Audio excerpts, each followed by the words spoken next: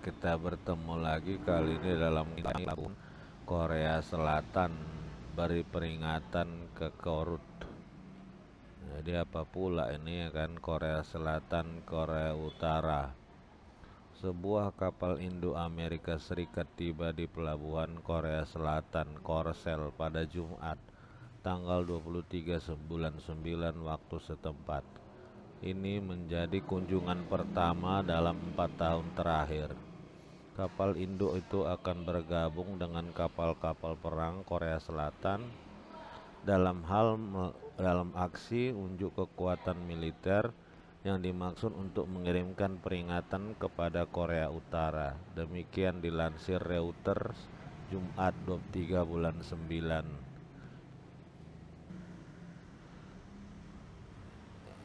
USS Ronald Reagan dan kapal beberapa kapal miter lainnya dari pasukan serbu yang mendampinginya telah berlabuh di pangkalan angkatan laut yang ada di Pelabuhan Busan, Korea bagian selatan. Kedatangan kapal induk AS itu menandai pengerahan paling signifikan, namun juga dilakukan di bawah dorongan baru untuk memiliki lebih banyak aset-aset strategis yang berkemampuan nuklir milik AS untuk beroperasi di kawasan tersebut untuk menangkal korut. Presiden Korsel Yoon Suk Yeol telah mendorong dilakukannya lebih banyak latihan bersama dan aksi untuk kekuatan militer lainnya sebagai peringatan untuk korut yang awal tahun ini melancarkan sejumlah uji coba rudal.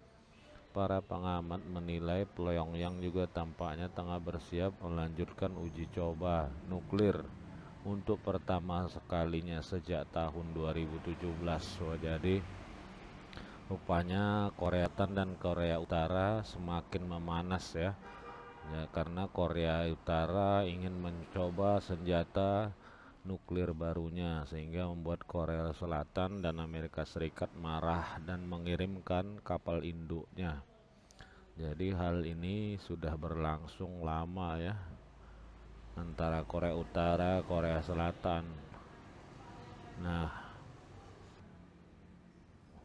ya Korut sebelumnya selalu mengancam pengarahan militer AS dan latihan gabungan AS Korsel yang dianggapnya sebagai latihan perang dan bukti kebijakan bermusuhan oleh Washington DC dan Seoul. Kunjungan kapal Indo AS USS Ronald Reagan ke Busan ini menjadi yang pertama dilakukan oleh sebuah kapal Indo AS ke Korsel sejak tahun 2018 pada tahun itu, kedua negara yang bersekutu menunda banyak aktivitas militer gabungan di tengah upaya-upaya diplomatik untuk melibatkan Korea Utara. Jadi, itulah tadi berita ya bahwa Amerika Serikat telah mengirim kapal induk USS Ronald Reagan ke pelabuhan Busan di Korea Selatan untuk mengantisipasi serangan ataupun uji coba nuklir Korea Utara. Barangkali ini saja dulu ya. Mudah-mudahan bermanfaat. Terima kasih.